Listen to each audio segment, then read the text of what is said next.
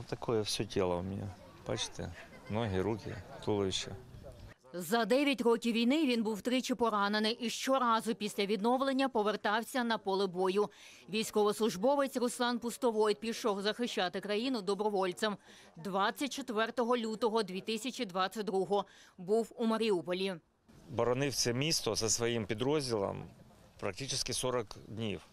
А потім я прийняв рішення не йти на Азовсталь, а за територію міста. Для мене найголовніше було зберігати своїх людей для того, щоб ми вирвались і продовжили далі знищувати ворога.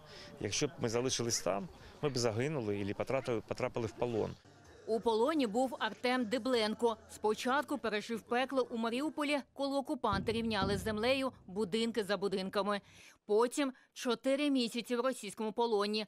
Артема та його побратимів били руками, ногами, палками, катували струмом та морили голодом. Ми сиділи в камерах. Кожен день нас там били, це, ну, це факт. У мене є поламані ре- ребра, деякі ну, переломи видно, е, ну, коли я зніму футболку.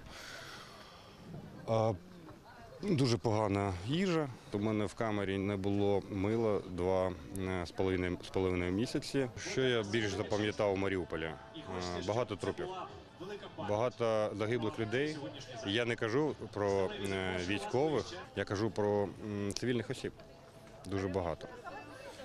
Вони були п- повсюду, по всьому Маріуполі. Але та кількість е, загиблих людей вона вражала.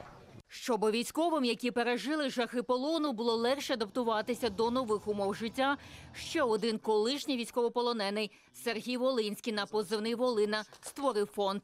Сам морський піхотинець за умовами обміну і досі перебуває в Туреччині. Він е, має обмежений зв'язок з рідними, тобто іноді ми виходимо з ним на зв'язок. Стосовно його стану здоров'я, е, він більш-менш в нормі після того, як вся країна бачила, в якому він повернувся стані з полону. Тетяна, сестра Волини, очолила фонд Сталеві. Працюватимуть у трьох напрямках. Це лікування, реабілітація е, тих хлопців, які повертаються з полону, стоматологія, оперування, протезування. Абсолютно е, дуже багато потреб у військових. Тому е, ми вибрали для себе цей напрямок діяльності. Також будемо допомагати тим хлопцям, які знаходяться на передовій. Наприклад, запитом там потрібні аптечки, квадрокоптери або автомобіль, наприклад, або генератори. Третій напрямок діяльності це напрямок, який буде направлений на освітлення проблем військовополонених. Підтримати захисників та допомогти морським піхотинцям, кажуть волонтери з фонду, може кожен з нас. Саме так і зможемо наблизити перемогу. Ільвіна Цидбулаєва, Олександр Шетніков. Ми Україна. Марафон. Єдині новини.